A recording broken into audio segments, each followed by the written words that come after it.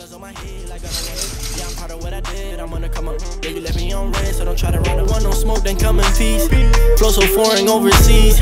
Got them praying, they like please. They want cheddar, not no cheese. Undefined, they don't get it, it's amazing. I was down bad in the basement. I would pray to God for a placement. I was never patient, I was always racing. Got me on the drive, that's a flagrant. Little boy, tell me what you chasing. We gotta do better, gotta be clever, gotta love more, that's a statement. They just wanna see me in the grave. Come out the law in the rave. Uh, oh no, I can't wait. You can read what you saw in the day. I was down, I'm up to the plate. Got a couple hits, cause you know I can't play. We gon' win it no matter what the shape. Got the stick, we gon' bring it out the safe. It's silver step, yeah, I was just inside the grave. When I resurrected in like three whole days. Shut up on my car, I had sneak the A's. Somebody take a tenant because we the way.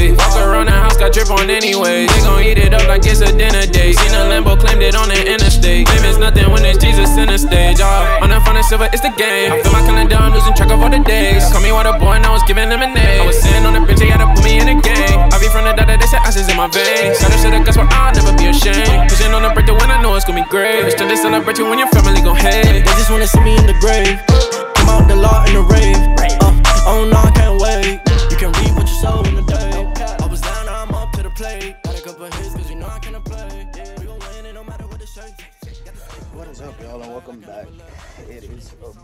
beautiful and typically sunny day here in Florida. It is hot as hell outside, but it does look hella pretty outside, and we do have kind of a bit of a breeze. Uh, pretty busy day on this road too. So, made it back over here. We're working on the block. Um, the block was looking pretty good.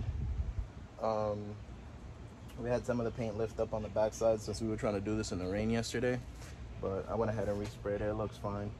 Um, I'm gonna go ahead and uh, take off the timing here. I forgot to put one of the washers that goes down here. Last night when we were rushing to clean up, I found the washer, so I was like, well, I'm gonna have to take the timing belt off and go ahead and uh, reinstall the secondary washer so that the timing belt doesn't slip back and forth. Once we get this done, I got the manifold in these brackets over here. I'm gonna go ahead and spray those. My buddy went outside to go get more paint. Um, so we can go ahead and paint them all a few different colors, get a little bit of contrast on the block and make it look somewhat decent.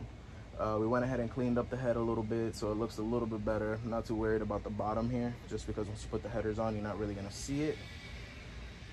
Um, and then we're gonna go ahead and redo this valve cover. I'm not sure if he's gonna shave it all down and redo it all completely, but um, I think he wants to do wrinkle red, which is gonna look really good with the color of the car. Like on my car, my car is red, so like the wrinkle black contrasts really well against the red in my car. But um, Yep, so I'm gonna go ahead and tear this down, fix that timing belt, and uh, get to work on painting those parts over there while he waits to get back. And I'm out on my tools over there, they all got soaked. So we spread them out, waiting for everything to get all the water and everything off of it. We'll go ahead and polish it. The only thing I really had to say was my feeler gauges and stuff like that because I hate when those things get messed up and I have to keep going buy new ones. But uh, all right, so see y'all in a bit.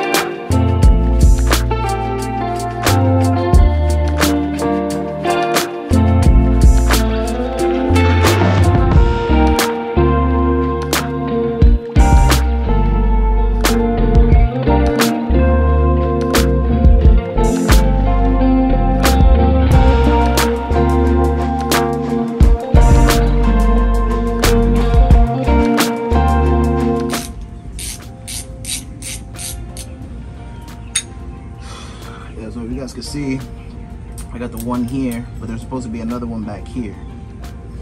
So I gotta take this off, slide the sprocket out, and then uh, once I do that, just basically put it all together, all back together.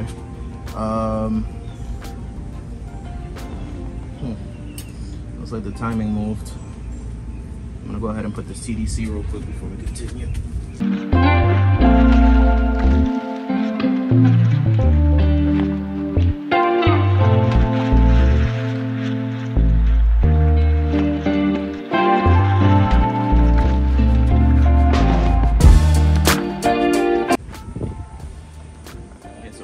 Perfectly with the line here and the mark on the oil pump there.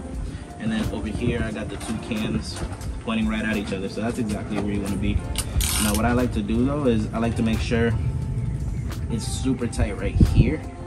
because what's gonna happen is you end up with all your slack on this side. So once I go to tighten this, I like to pry up here and it basically takes all the slack out of the, uh, the timing. So I'll go forward a little bit like that. And then I just kind of gently bring it back till this is super tight and you got all your slack on the right side.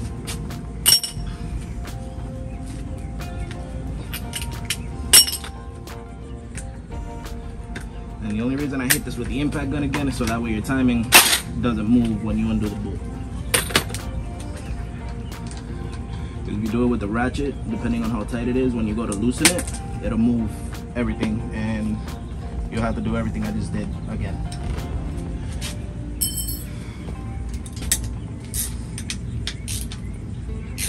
Loosen the tension here.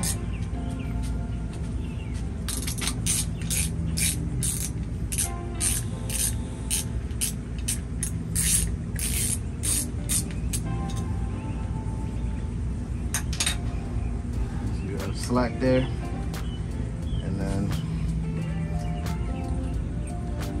it off the uh, tensioner there. Belt comes off.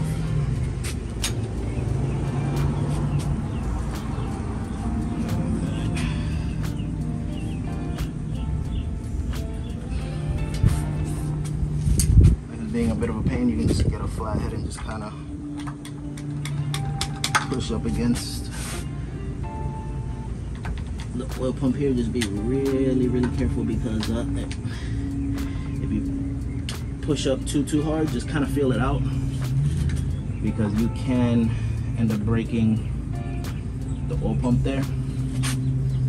Not that it'll do anything, like the, the oil pump will still be, it'll still do what it needs to do, but you know, just if you don't want to crack your oil pump, be really careful.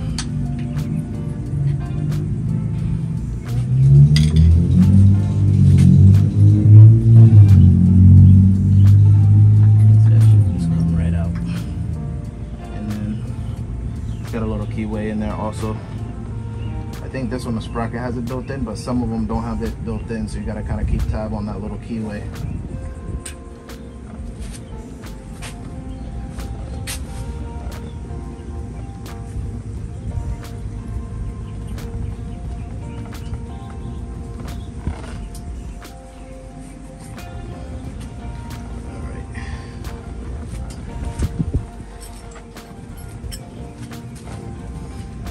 See we got two of these guys.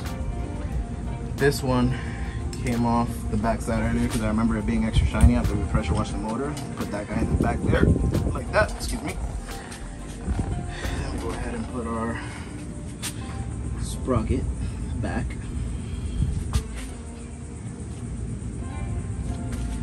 Alright.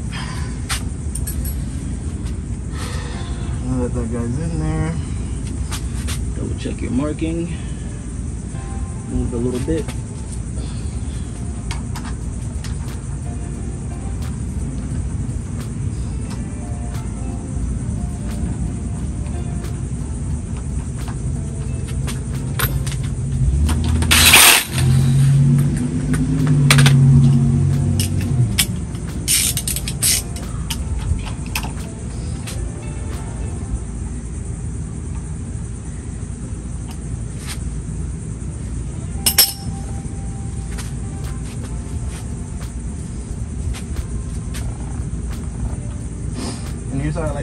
So you'll see me go like this. Get this over and around the water pump here like this and I'll just kind of lay it like that. And then I put most of my emphasis on this left side. I always try to get this left side lined up.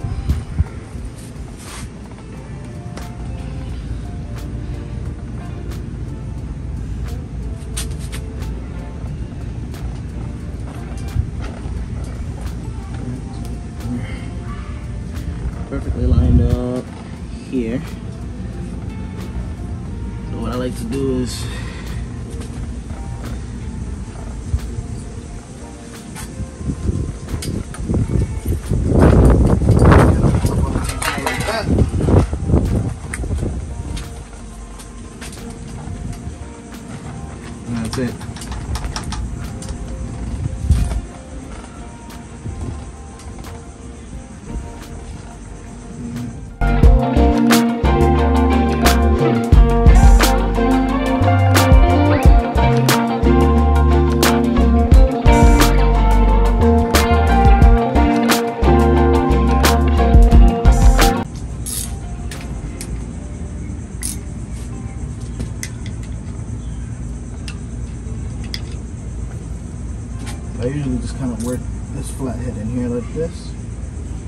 And pry up on the tensioner a little bit more.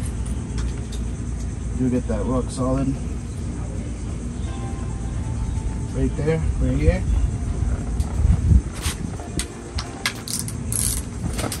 I'll just go ahead and snug up the tensioner. You'll see barely any play on either of the two sides.